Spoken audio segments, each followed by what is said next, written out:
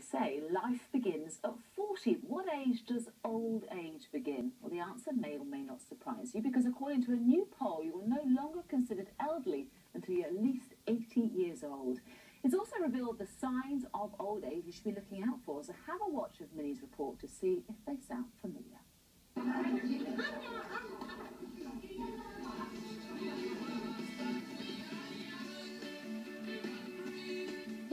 Slippers in sight. They have the moves and ridiculous amounts of rhythm. Yes, these pensioners are far from past it. In fact, a survey has found that thanks to a more active lifestyle, most people now believe older age begins at 80 rather than 60.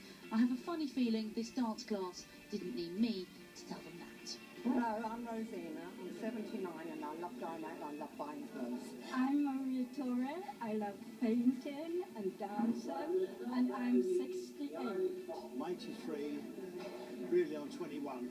The research found one of the reasons pensioners are more active than ever are the number of older people in the spotlight. Let's get Britain fit.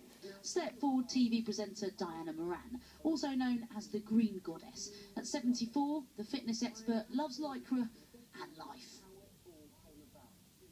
Old age has changed such a lot. It's changed so much from the time of my grandmother or my great grandmother. We're so much healthier this in this generation than the, the previous generations were. If you're concerned you're feeling overly old, here's a handy checklist supplied by the survey. Do you fall asleep watching TV or reading the paper? Tick. Are you forgetful? Mm, tick. Do you groan when getting up from a chair or out of bed? Well, it's only natural. Choose clothes for comfort rather than style? Absolutely. And do you have any idea who's top of the charts? Uh, no comment. So back at our dance class, we had to ask, what is their secret to staying young? So do you feel like you're in your 80s or do you feel young? No, no, no. Age is, age is just a number. Baz, can I spoon?